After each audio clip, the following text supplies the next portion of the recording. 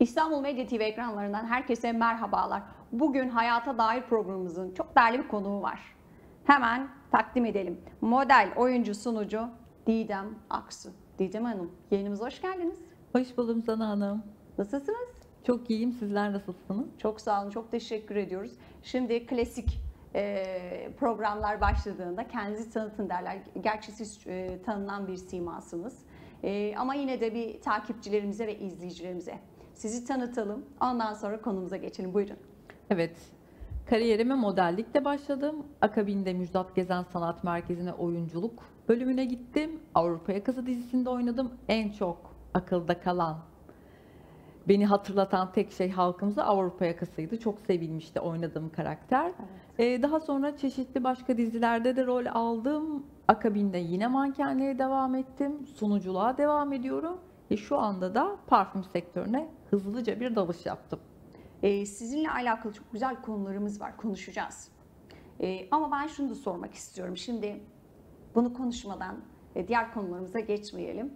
E, Avrupa yakası hepimizin hakikaten hayatında bir yer aldı değil mi? Evet öyle hala yani yüzlerce kere tekrarları dönüyor. Şimdi birçok filmle e, hani biz baktığımızda eskiden çocukluğumuzdan kalan Yeşilçam'dan dönüp dönüp izliyoruz. Ama Avrupa yakasında da karşımızda şimdi e, devir dijital devri. Burada da önümüze çıktığında da o kısa kısa videoları biz hiç sıkılmadan izliyoruz. Ben, kızım, yani eski ve yeni jenerasyon tarafından izleniyor. Şimdi buradaki e, oyunculuğunuz, o süreci biraz böyle bir o zamana gidelim, biraz konuşalım ondan sonra devam ederiz diğer konularımızla. Buyurun. Tabii çok enteresan oldu. Ben mankenlik yapıyordum. Mankenliğe yeni başlamıştım. Ajanstan beni aradılar. Avrupa Yakası dizisinde oynar mısın dediler. Hayır dedim ben oyuncu olmak istemiyorum. Oyunculuk yapmak istemiyorum. E, Bir de böyle büyük büyük havalı havalı konuştum. Ben başrol olmazsa oynamam dedim. Yani çok komik. 17 yaşındayım. Cahillik var tabii ki. Cehalet var. Ondan sonra kabul etmedim. Bir tane arkadaşımı yolladım. Bir bölümlük diye istememiştim. Ondan sonra ertesi hafta beni bir daha aradılar. Didem dediler ya bak sen hani geçen sefer kabul etmemiştin ama bence mutlaka reytingleri çok yüksek kendini orada bir göstermelisin. Peki tamam dedim gittim. Orada da diziyi izliyordum ve çok hoşuma gitmişti. Çok gülüyordum. Gittim bir bölüm diye. Gülse Birsel beni çok beğendi.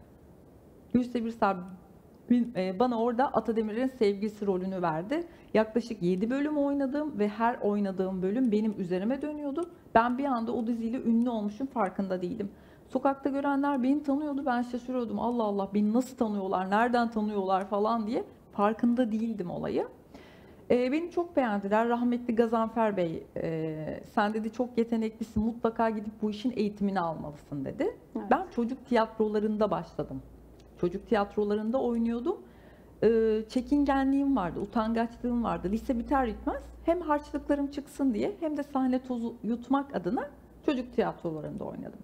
Ee, çocuk tiyatrolarında oynamamın da bana faydası olmuş. Ben Avrupa Yakası dizisinde hiç zorlanmadan sanki böyle yıllardır dizilerde oynuyormuşum modunda daldım diziye. Ama e, laf söz olmasın diye de gittim. Müjdat Gezen Sanat Merkezi'nden de diplomamı aldım. Orada da teorik bilgilerimi öğrendim. Böyle Ama başladı. Şöyle bir şey de var. Siz bebekken de e, böyle sarışın bir bebek, masmavi gö- gözlü bir bebek. Reklamlarda o zaman da oynamışsınız. Evet ben e, mama reklamlarının Türkiye'nin çok bilinen bir mama reklamının bebek yüzüydüm. E, mama kutularında resimlerim vardı. Sokaklarda kartpostallarım satılıyordu. Eczanelere eczanelerde resimlerim oluyordu. Yani ben birkaç kere gördüm. E, bu çocuk benim falan demiştim eczacılar. Şaşkınlık geçirmişlerdi. Şimdi burada yani bazen insanın yol haritasını doğuştan çizili diyorlar ya öyle diyebilir miyiz? Evet yani şu an benim aslında böyle emekli falan olmam lazım. Doğuştan sayarsak doğuştan sigor- sigortam başlamış olsaydı şimdi çoktan emekli olmuştum. Evet bu da işimizin esprisi olsun. Evet. Peki şimdi hali hazırda birçok işi yapıyorsunuz. Oyunculuk, e, model, ondan sonra sunuculuk. E, Bunun yanı sıra ticari anlamda da çok kaliteli bir iş yapıyorsunuz. Ben söylemeyeyim, siz söyleyin. Buyurun. Ne Evet. yapıyoruz? Ee, ben enteresan bir şey yaptım. Dünyada bir ilki yaptım.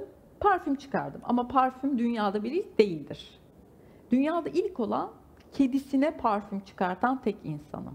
Ama bu tabii ki kedilere özel bir koku değil. Tamamen insanlara yönelik bir koku. Kedimi patron yaptım. Kedimin adına bir firma kurdum Ve bir tane parfümümün adına da tamamen kedimin adını verdim. Niş Linda diye. Firmamın adı Linda Aksu Kozmetik. Niş Linda'da beyaz olan kutu tamamen Linda'ma ait bir koku.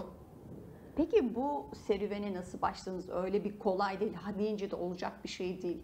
Yani o yolculuğu bize anlatır mısınız? Girişimcilik yapmak isteyen, gerçekten de bir işe kalkmak isteyen, kalkışmak isteyen bir e, Türk kadınına ya da e, genç kızlarımız yeni yeni böyle mezun olmuş e, kafasında bu gibi işlere kalkışmak isteyen ve bu yolda yürümek isteyen gençlerimize de buyurun bir bakalım neler anlatacaksınız. Ee, Benim parfümlere karşı aşırı ve yoğun bir ilgim vardı. Yani ben e, okula gitmeden önce annemin, teyzemin çok ünlü yabancı marka Fransız parfümlerini falan sürüyordum. Çantama vanilya tozları döküyordum. Aşırı derecede ilgiliydim. Her zaman deodorantlarım, parfümlerim vardı. O minik minik teyzem testerları bana verirdi işte böyle en pahalı markaların testini. Hep çantamda onlar olurdu. Yani ben hep onları kullandım. Çok fazla koku bilgisine sahiptim zaten küçük yaşlardan itibaren. Bir parfümör değildim ama çok fazla bilgiye sahiptim. Hemen hemen bilmediğim marka, bilmediğim koku yoktu. Ee, evde de bayağı büyük bir koleksiyonum var. Ee, Pandemi döneminde de tabii ki herkes gibi ben de işsiz kaldım. Canım Evet. sıkılıyordu. Sürekli ne yapabilirim, ne yapabilirim, ne yapabilirim diye düşünüyordum. Böyle internette, Instagram'da krem, işte kendi evde yaptığım özel kremleri tanıtmaya başladım. Hı hı. İşte ev yapımı kremler, işte Evet. limonlarla yapılan, işte odur budur ucuza mal olan ev hanımlarıyla onları paylaşıyordum. Evet. Sonra düşündüm, taşındım işte ben dedim krem yapım, krem piyasaya süreyim. Evet. Sonra ama krem hakkında ne kadar bilgim var? Çok fazla yok. Parfüm geldi bir anda aklıma böyle vahiy gelir gibi. Ben dedim parfüm işine gireceğim. Yaklaşık bir yıl oluyor. Ekim ayıydı. Karar verdim ve bir yıldır yoğun bir şekilde bu işin üzerinde çalışıyorum. Evet. 14 gün önce bitti ve 14 gün önce piyasaya çıktı. Tam bir yıl sürdü yolculuğum.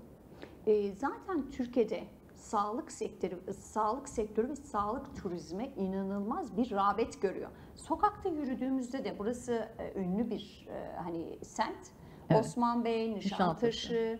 ve diğer semtlerimizde de ya saç kısmında bir e, operasyon geçirmiş ya yüzünde ya da ne bileyim buna benzer birçok sağlık sektöründe siz biraz daha kozmetik kısmında Evet. rağbet görüyor zaten hani Çok böyle fazla. şeyler.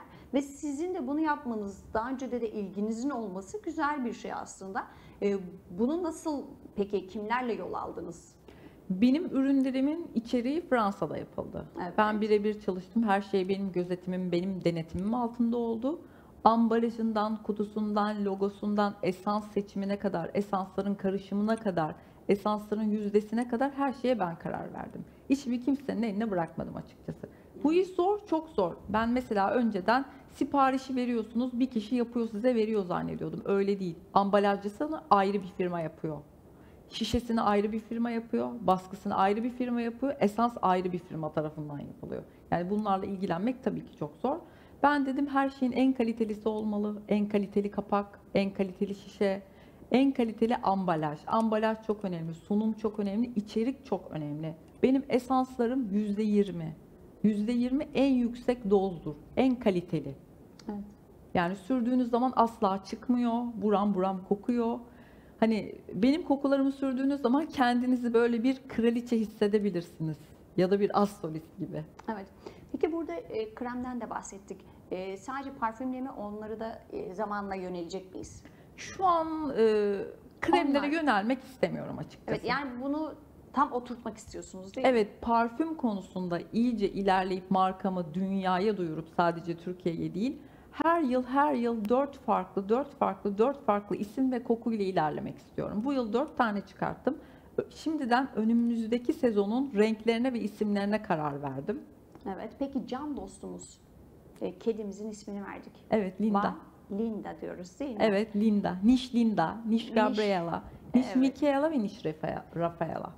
Peki burada neye dikkat çekmek istediniz? Açıkçası evet e, her türlü bir isim çıkartabilirdiniz ama can dostlarımıza da burada biraz dikkat çekmişsiniz diye düşünüyoruz. Doğru mu düşünüyoruz? Doğru düşünüyoruz. Ben kedileri çok seviyorum. Aşırı derecede seviyorum. Ee, evden çıktığım zaman her sokakta bir tane belirlediğim benim kedim var. Diyorum bu benim kedim, bu benim kedim, bu benim kedim. Evet. Yani öyle. Bir de dikkat ettiyseniz e, ben bu semti çok seviyorum. Şişli'yi çok seviyorum. Hani tüm semtlerimiz birbirinden değerli ve güzel böyle eski o yapılarımız, tarihi kısımları geziyoruz. Fakat e, biz şimdi herkes yaşadığı yeri çok iyi bilir derler ya. Burada da her esnafın dikkat edin iş yerinin önünde muhakkak bir e, kedi maması ve bir kap su oluyor. E, Sizin de bunu özellikle markanıza da hani yansıtmanız müthiş bir çalışma olmuş. Bunun için de gerçekten de tebrik ediyoruz.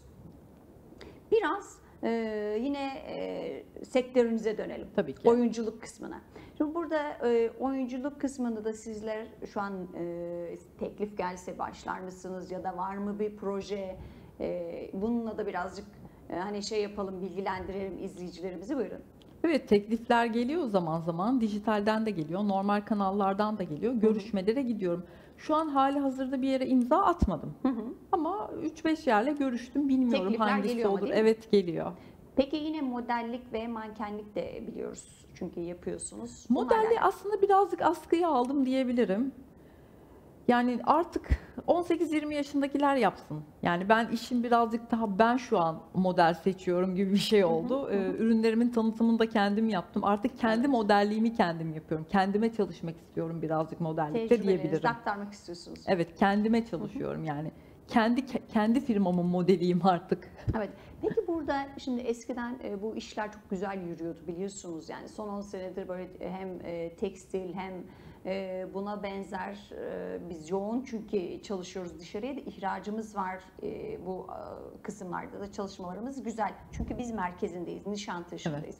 Burada e, tam tersi profil kısmında, tanıtım kısmında, showroom kısmında sizlerin çalışmasına gelene kadar tabii orası ayrı. Siz ön kısımdasınız. Burada e, iş var mı? Biraz hani o kısmı da konuşmak istiyoruz açıkçası.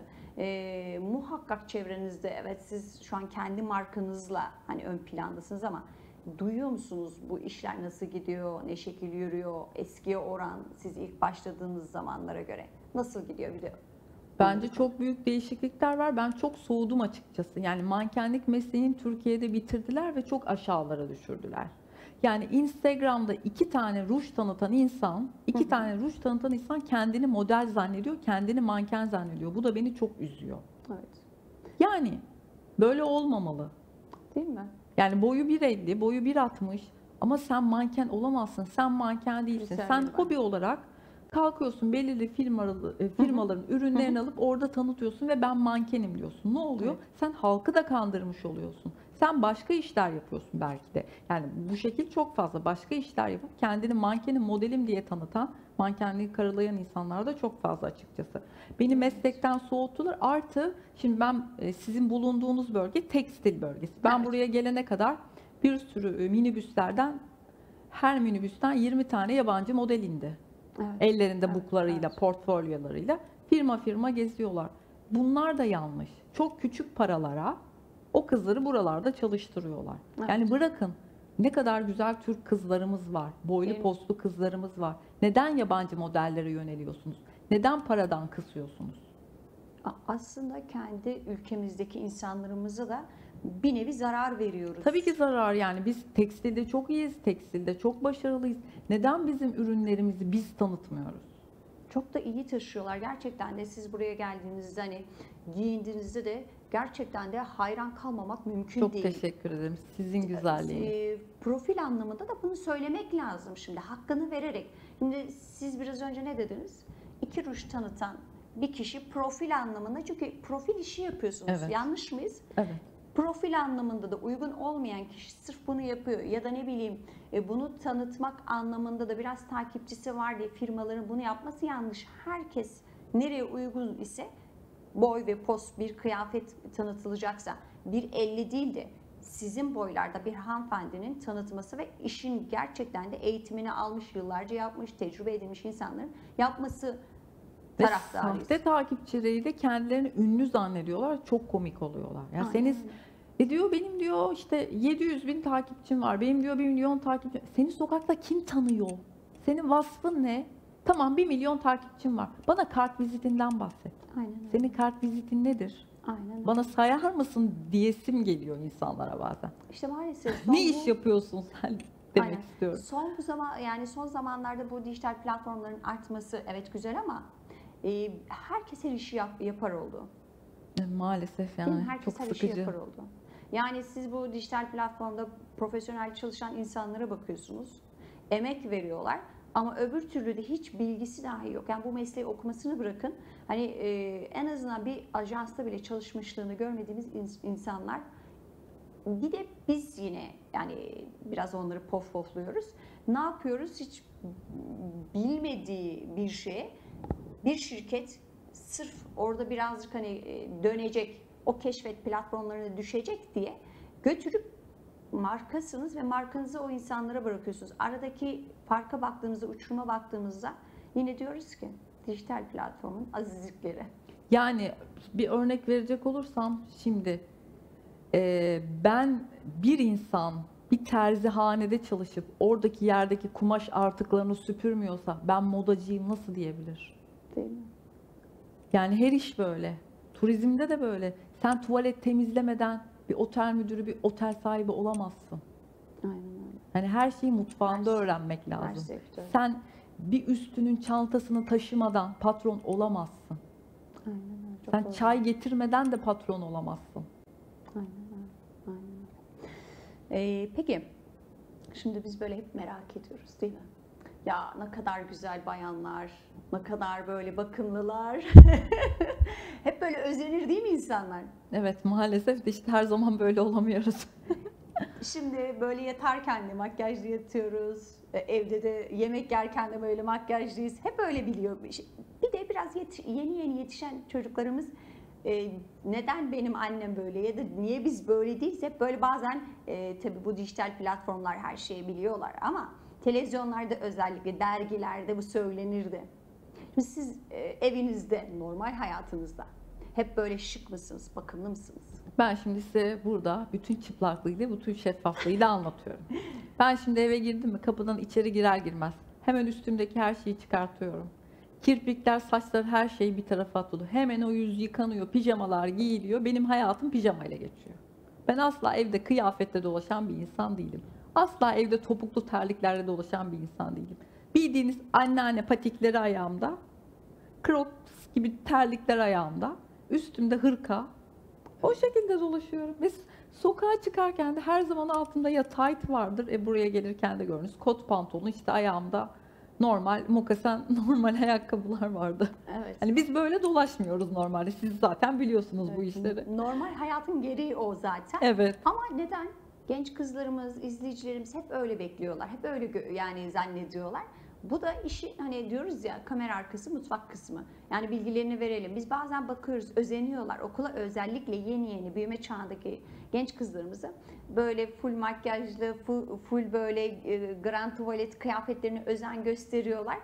Ama ne oluyor böyle staj dönemlerinde böyle başladıkları zaman işin gerçeğini gördüklerinde Aa, hakikaten öyle değilmiş. Biz hep böyle günlük böyle olduklarını zannediyorduk. İşe baş özellikle bu meslekte başlayanlar yok öyle değilmiş.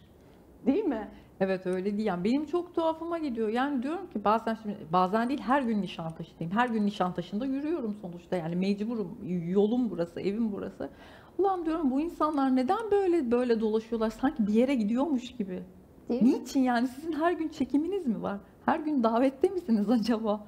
Neden yani anlayamıyorum. Bazı semtlerin özellikle öyle bir algı e, hissediyor insanlar. Başka yerde oturup bu e, semtlere çalışmaya geldiklerinde özellikle şöyle kocaman bir marka olacak.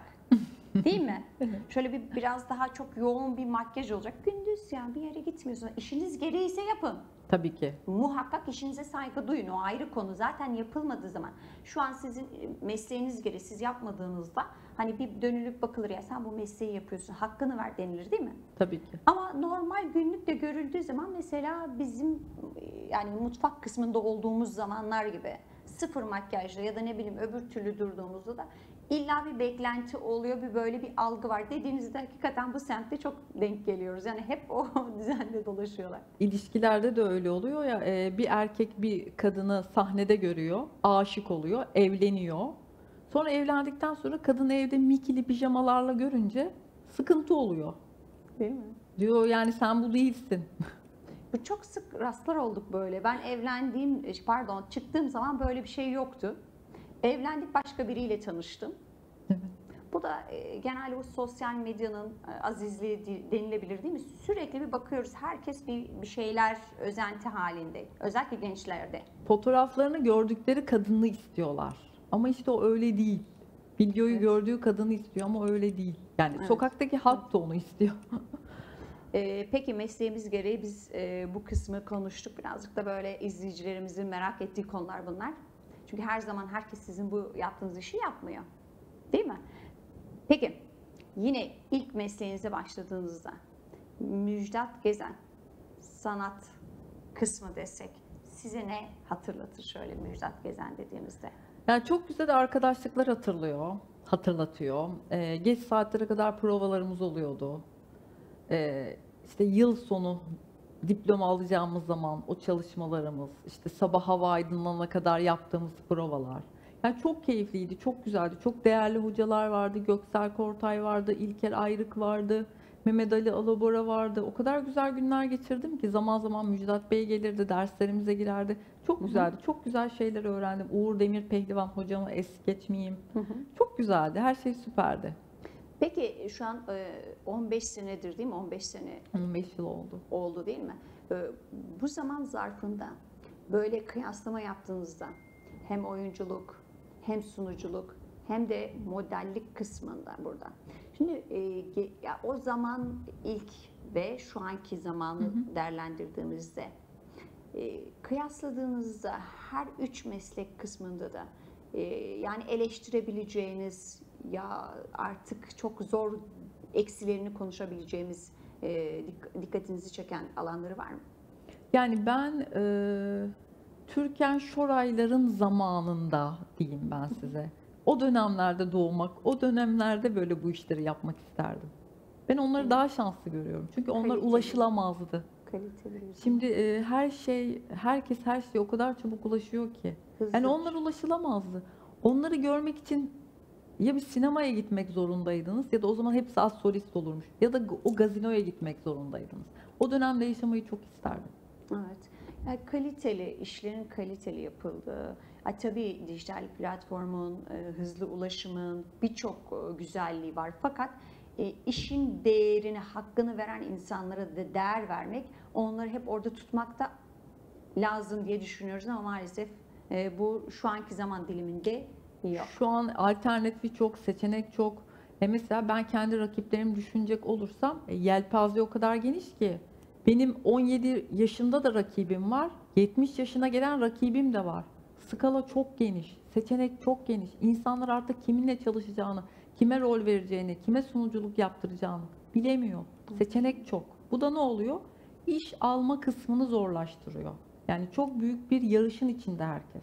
Evet, kalite kısmında burada göz ardı edilebiliyor ya da gözden Tabii kaçırılabiliyor. kalite kısmı göz ardı ediliyor. Daha ucuza kaçıyor. Değil mi? Her işte olduğu gibi Yani da. ben diyor buna bu kadar para vereceğime diyor 17-18 yaşındakini daha çabuk kandırırım diyor. Çünkü niye? Hevesli bu işi yapmak istiyor. Neredeyse üste para verecek. Evet. Bedava da çalışır bu Evet, diyor. evet. Çünkü ünlü olmak istiyor diyor. Maalesef, maalesef. Peki, halen devam ettiğiniz e, sunuculuk anlamında da özel gecelerde de e, galalarda birçok buna benzer e, çalışmalarda bulunuyorsunuz hala değil mi? Tabii ki hala bulunuyorum ve çok severek de yapıyorum. Hani bazen zannediyorlar ki o işte Didem Aksu artık patron oldu. Bizimle çalışmaz. Hiç alakası yok. Ben bu işi çok seviyorum. Yaşım Sizin el verdiği işiniz. sürece yapacağım. Tabii ki neden yapmayayım? Benim tanıtımım oluyor daha iyi. Bir de sizden sonra gelecek yani sunuculuk yapacak sonuçta yani bu sektörün birçok alanı var. Her alanda bu kısmı isteyen e, gençlere de örnek oluyorsunuz.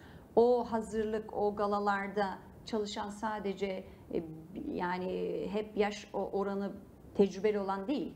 Yine aynı meslekte staj kısmı olan, öğrenmeye e, başlayan, bu işe hevesli olan gençlere de sizler örnek oluyorsunuz. Yanlış mıyız? Yani örnek olmaya e, elimden geldiğince gayret ediyorum. Düzgün işler yapmaya, Hı hı. düzgün paylaşımlar yapmaya, saçma sapan paylaşımlar yapmamaya bunlar da çok önemli. Çünkü Evet. bizim paylaşım Instagram'ımızdan çıkmıyorlar.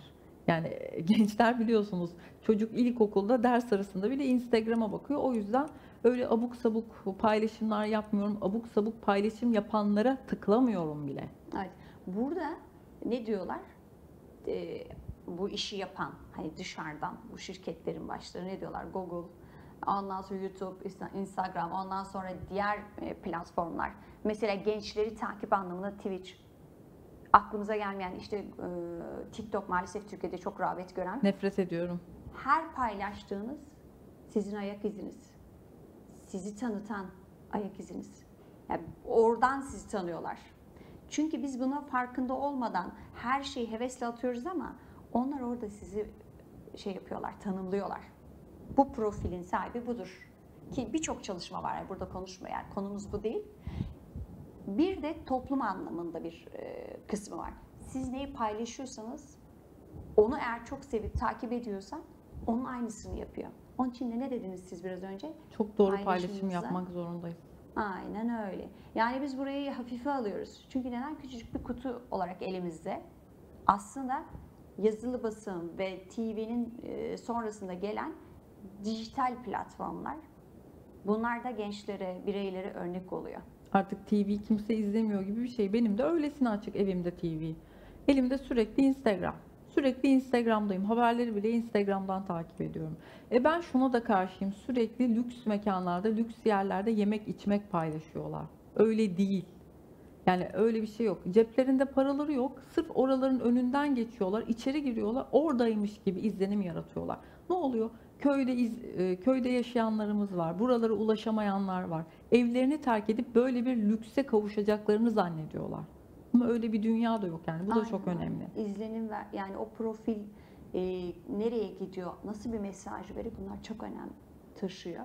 Ama maalesef dediğimiz gibi e, bilinçsizce kullandığımız bir platform. Bunun bilincine varmaları adına da çok çaba var şu an. E, bunun için siz şu an buradasınız. Bunun için konuşuyorsunuz. Ne dediniz? Üç tane mesleğiniz var ve onun dışında girişimde bulundunuz. Çok güzel, kaliteli bir iş yapıyorsunuz. E, Bunların hepsi burada. Yani ne demek oluyor biliyor musunuz?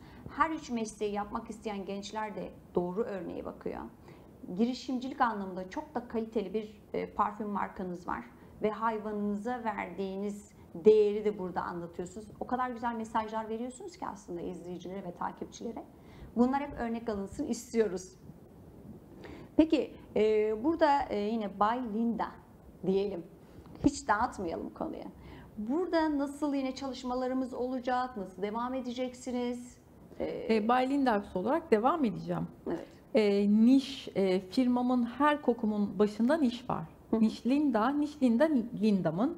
Niş Michaela var. Niş Michaela da benim çok sevdiğim can dostum ablamın adı Michaela. Ona ithafen yaptım Niş Michaela'yı. Kendisi e, astrolog, medyumdur. Michaela Astro.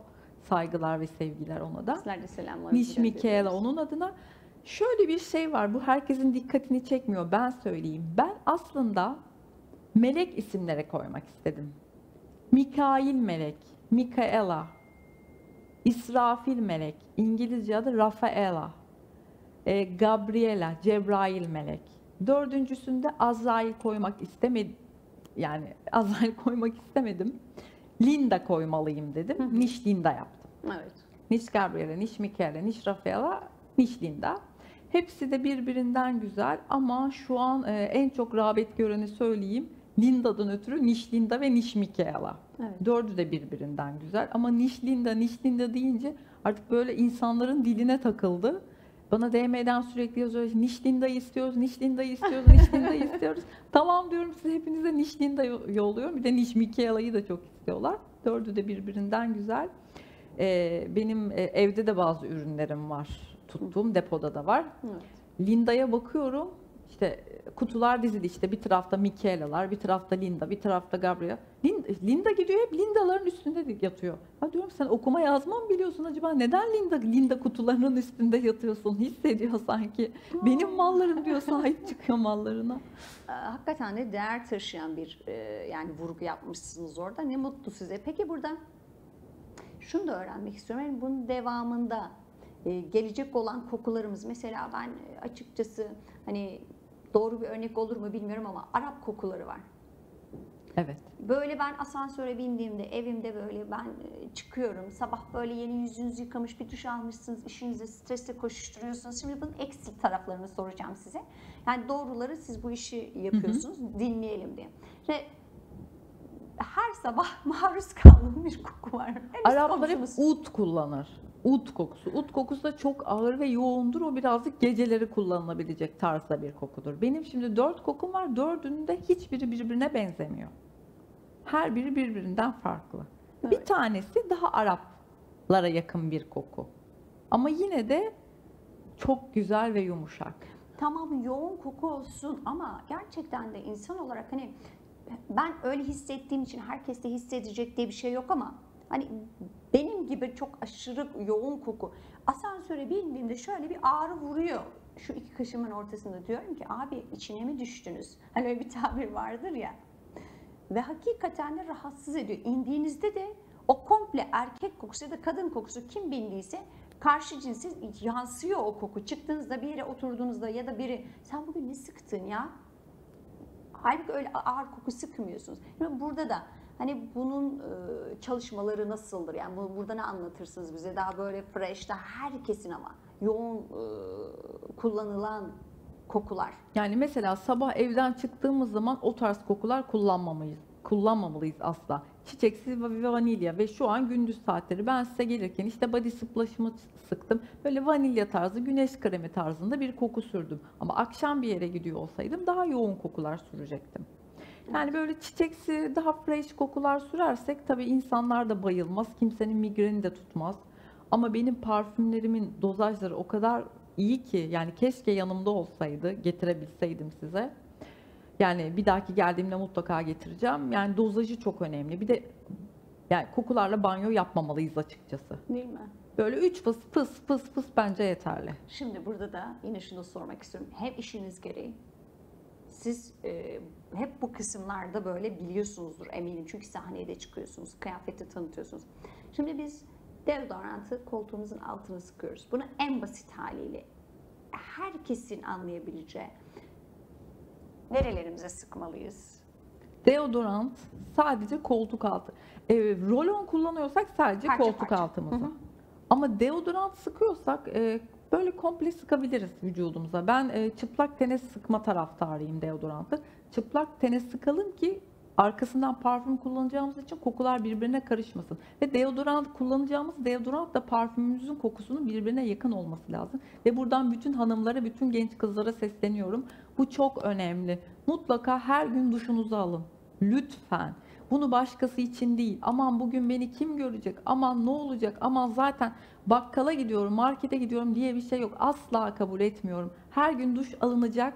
Duştan çıkılıp o deodorantınız, rolonunuz, kolunuzun altına mutlaka sürülecek. Ya yok yok yani. Bunun olmazı olmaz. Saçını taramayabilirsin. Ama o deodorantını sürmek zorundasın ve o dişini fırçalamak zorundasın. Evet. Bu kadar da katıyım. Böyle de kurallarım Ama vardır. yani- Bunu herkes yapmalı. Bu öz bakım değil mi ya? Okullarda, okul öncesi Mutlaka. verilen yani bizlerin çocuklarımıza yatmadan önce dişlerini çürüyecek en basit hali bunlar. Ama maalesef Hijyen. yapmıyorlar ve ben buna çok üzülüyorum. Ya kız, görüyorum genç kız. Saçını yıkıyor çıkıyor. Ayaklar leş gibi. Makyajını yapmış. Yanınızdan geçiyor leş gibi ter kokuyor. Olmaz. Olmaz. Kimse için değil. Sen makyajını yapma. Sen makyajsız gez. Bakım demek makyaj demek değil. Bakım Algı demek öyle. temizlik, pırıl pırıl. Hani pürüpak derler ya Evet, eskiler. evet, evet. Bakım demek pürüpak olmak demek. Aynen öyle. Yani bir duş almaktan üşeniyorsanız saatlerce sabaha kadar Evinde suyun mu yok? Bunun parayla da ilgisi yok. değil mi? Al ıslak mendil, kolonyalı mendil, komple vücudunu sil. Suyun mu yok? Bunu yap. Ya bence hani bu manzeret olmamalı değil mi? Olmamalı kesinlikle ya. En ucuz şey sabun 3 lira mı 5 lira mı? Hadi 10 lira olsun bilmiyorum şu an sabun fiyatını da. Yani çok zor bir şey değil. Ama yüzlerindeki makyaja o, kısım eğer varsa onu da vardır demek. De- Yani asıl konu şu. e, temiz dolaşmak. Temiz dolaşmak. Bakımın en güzel hali bence temizlik. Aynen öyle. Yani makyajsız gezmelisin ama mutlaka temiz olmasın. Makyajlı mısın? Eve gittiğin zaman mutlaka o makyajını yıkamalısın. Mutlaka yüzünü temizlemelisin. Yani makyajlı makyajlı yatmamalısın. Değil mi? Hem cildin daha genç yaşlanır, e, daha geç yaşlanır hem cildin daha güzel olur. Bir de şunu da ben sormak istiyorum. Şimdi yine sizin mesleğinizle alakalı. İlk temizlikten başladık. Bir de birbirine uyan makyaj. Yani bir bakıyorsunuz hakikaten ben benim e, her gün yoğun makyaj yapan biri de değilim. Bu benim işim yani uzmanlık alanım da değil. Değil mi? Bu işin bir uzmanı var. Gidiyorsunuz bir galaya ya da ne bir özel bir geceye bir şey yapacaksanız bir, yüzünüzü birilerine yaptırıyorsunuz o işi yapan kişilere. Burada gündüz böyle denk geliyorsunuz. Ya inanılmaz şık olacağım ama tamam da şık olayım derken de komik. Yani herkes her şeyi bilmek zorunda değil. O anlamda demiyoruz. Bilsinler diye şimdi siz her türlü makyajı yapıyorsunuz ve işiniz gereği gecede gündüzde yapmanız gereken bir makyaj var. Gündüz ve e, gece makyajın arası nasıl olmalı? Biraz da bunları konuşalım mı? Yani palyaçoya dönmemek lazım diyeyim ben size. E, gündüz eğer makyaj yapmamız gerekiyorsa bir BB krem olabilir. Bir BB krem olabilir. Hafif bir fondöten, allık ve ruj. Benim mesela günlük makyaj tercihim. Ben sadece allık ve ruj sürer çıkarım. Rimel bile sürmüyorum açıkçası. Ama bir yere gidiyorsam da e, hafif bir fondöten, hafif böyle kibar bir far, belli belirsiz. İşte rimel, böyle gözümün içine kalem çekiyorum. Böyle light rujlar, eğer kırmızı ruj süreceksem ve gündüz bir yere gidiyorsam o zaman göz makyajımı hafif yapıyorum. Şu an yayına çıktığım için hem kırmızı ruj sürüp hem de yoğun göz makyajı yaptım. Çünkü yayın her şeyi kaldırıyor. Sizin Yayın her şeyi kaldırıyor. olması gerekiyor şimdi. Evet. mesleğiniz gerekir. Yani çünkü siz e, üç mesleğinizde profil anlamında bunu e, zorunlu kılan bir meslek.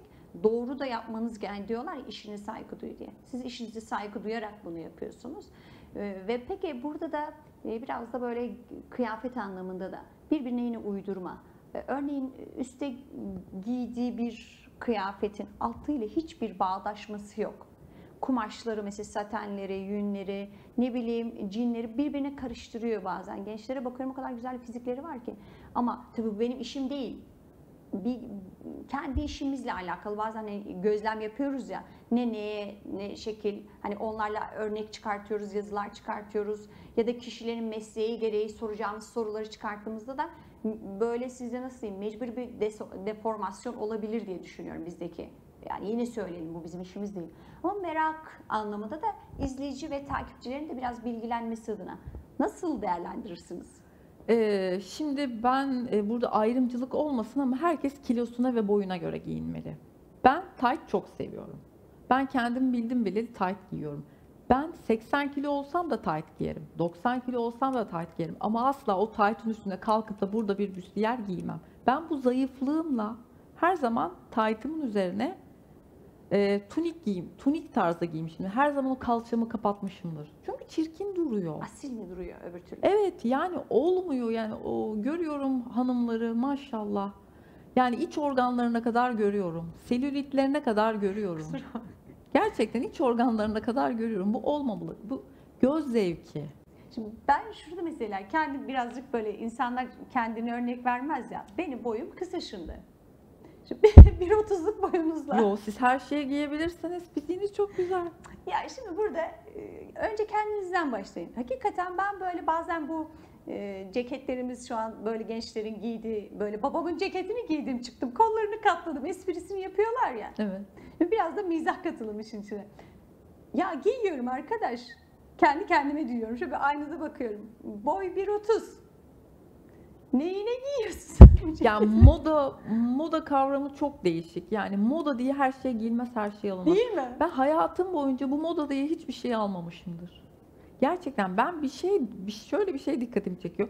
Ben bir şey giyiyorum ya da saçıma bir şey yapıyorum. Bir bakıyorum 6 ay sonra, 7 ay sonra onlar moda olmuş. Ya bu nasıl oluyor? Ben mi çok vizyon sahibiyim ya da moda mı beni takip ediyor? Hayatım boyunca ben moda takip etmedim. Yani işim gereği de yıllarca biz hep e, bir kıyafet tanıtırdık. O tanıttığımız kıyafeti zaten mağazada yoktu. O kıyafet 6 ay sonra piyasaya çıkacaktı. 7 ay sonra piyasaya çıkacaktı. Yani benim modayı takip etme şansım hiçbir zaman olmadı. Hep ben geriden geldim. Belki de ondan dolayı bilinçaltıma yerleşti. Benim dolabımda bir tane bile şu, şu moda denilen bir parça yoktur. Hepsi tesadüfen moda olmuştur. Ben hep genelde çok kullanabileceğim şeyleri seçerim. Bunu bütün hanımlara da tavsiye ediyorum. Yani moda kurbanı asla olmamalıyız. Evet. Yani palyaçoya dönmemeliyiz. Değil mi? asla yok. Siz Tight'tan örnek verdiniz. Şimdi bazen konuşunca şimdi biz e, takipçi ve izleyicilere yani hitaben konuşuruz. konuşuruz. Evet dijital platform biz buraya biraz mizah katıyoruz. O işin hani ayrı bir pa- tarafı ama yine de bazen şunu hakikaten olmazsa olmaz. Ya e, selülitleri bile gözüküyor. Şimdi siz o kadar güzelsiniz ki mesela baktığınızda hakikaten güzel ama o kısmı kapatması gerekiyor. E, selülit hoş değil. Hoş bir insansın. Yüzün çok hoş, vücudun çok hoş ama o sana gitmiyor. Mesela sizin işiniz gereği, kilonuz, boyunuz, siz giydiğinizde mesela bazen ben bakıyorum, gıpta ediyorum ya Türk kadınları hakikaten güzel böyle. Baksana ne güzel giyinmiş. Şöyle bir bakıyorsunuz. Anlatabiliyor muyum? Mesela ben biraz önce kendimden örnek verdim. Yani şimdi aynanın karşısına geçmişsin. Boy 1.30. O ceketi giydiğin zaman, sokağa çıktığın zaman hani insanları gülümsetmek istiyorsam evet ben giyeyim. Ama olmuyor yani bana boy olsa tamam giy kaldır. Mesela sizde müthiş durur değil mi? Hani bunu bilerek biraz hani vitrinlere bakıyoruz. Gidiyoruz inanılmaz paralar da veriyoruz. Sırf o sene o giyiliyor diye. Böyle bir şey yok ki. Üstünüze, boyunuza, size yakışan. e, bazen bakıyorum. O kadar böyle tatlı böyle e, insanları, sokakta bayanları görüyorum. Marka değil ama o kadar güzel yakıştırmış ki.